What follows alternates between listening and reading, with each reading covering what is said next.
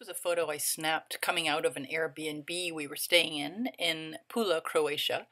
And of course, I snapped it because there was laundry hanging, and um, there hadn't been laundry there the, the day before. So, of course, you need to take these photos as soon as you see them. So, I was really happy to dig out this, this photo to work on. I took a couple other photos, and you'll notice in this one that all of a sudden there is a figure in it. So I had to decide, am I going to include the figure or not? I'm really attracted to figures. And so, as you will see in my thumbnail, I did put the figure in. So there she is, leaning on the parapet there on that wall. And um, of course, the thumbnail is to familiarize myself with the scene that I want to paint, but also to create my three main values, which is what I've done here, dark, light, and middle value. And the light being the laundry and the side of the building, the middle value being the sort of roof and the sky and a bit down the left-hand side, and the darks being behind the laundry and also the shadow side of the chimneys. That tiny little value sketch to the right is just a tightening up of the the values and also I was just trying it out in a square format just to see how I liked that. One of the things that was troubling me about including the figure is that I want viewers to, you know, take a circular path around the painting, sort of going over the chimney tops and then circling down to this laundry, which is the main the main point of this painting. And I worried that if the figure was there, rather than completing that circle, that the viewer would be taken off either to the left if she was looking out to that side, or if she's looking out to us, that uh, the viewer would be taken towards us. So rather than completing that circle, uh, the viewer would be taken out of the painting, essentially. So here's my charcoal sketch that I did. This is the drawing that I will pastel on. And as you can see, I did include the figure. I'm still undecided. I was still undecided at this point. Now, you can also see that I took out some of that background part behind the, the, the roof to the left-hand side. This is the thing about, you know, working from photographs is that you make choices. You don't have to copy everything that's there. Anything that doesn't support what you want to say about the, the picture you're painting, you know, what it is you're painting, then leave it out or move it around.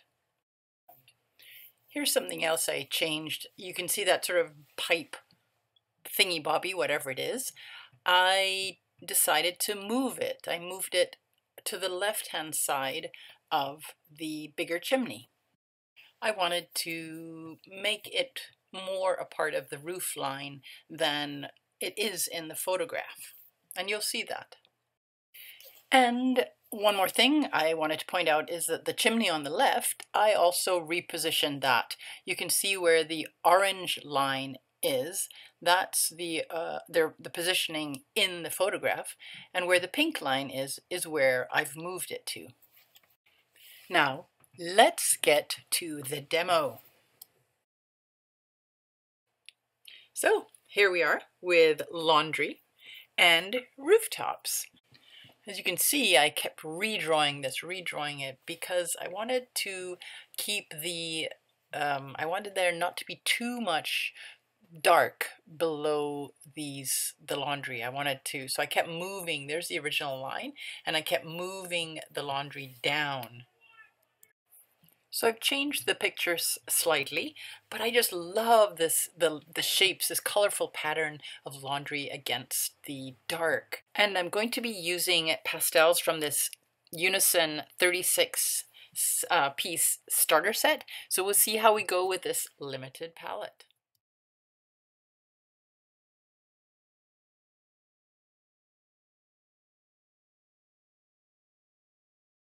And after stepping back, uh, coming back in to make just a few little refinements, for instance, right on the top of that tiled roof. Now you can really see where that tiled roof comes down. And these, this tiled roof is such an important part of the painting, so just, uh, again, correcting it. But I don't want to, you know, the line probably should have come more, you know, more vertical, but I didn't feel it was that important to change it at this point. Now with that darker brown, just a few lines to indicate the, the edges of those tiles. And I don't have to go very far, just that little tiny bit will really um, tell the viewer what, what they are. And seriously, seriously, I step back and I take a long look and I'm pretty sure this is it. This is, um, I'm done and that's what I'm telling myself, I'm done. But there's that one little piece right there. I just need to correct it, um, the sharp, sharpen up that edge, um, and then also just, I need to get rid of that line a little bit. Yep, fiddling. And is it really done now? Is it done yet? Not quite. A little bit of yellow on that gutter. All these little things. You know, you could go on and on forever. As I watch myself working, I think, you know, you could have stopped probably a little while ago, but you see things, you see things, and you just, you go, I want to correct them. Just softening off that hard line so it doesn't dump, jump forward. And really, this is it. I keep saying it, and then I keep fiddling. I do keep saying it, and I keep fiddling. And I say, right now, after I do this, I'm going to do this, and then that's it. Truly, I'm done.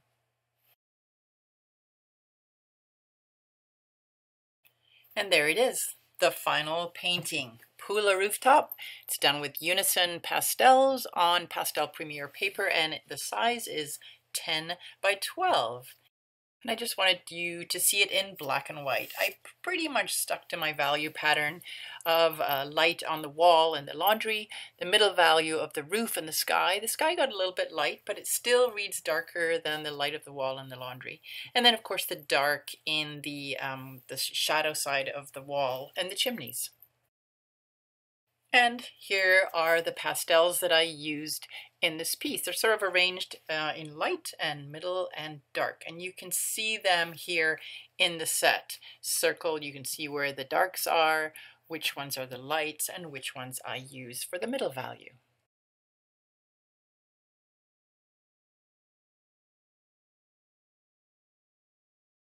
Thank you so much for coming on this art journey with me.